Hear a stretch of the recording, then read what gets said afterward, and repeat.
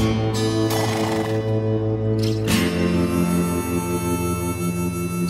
you.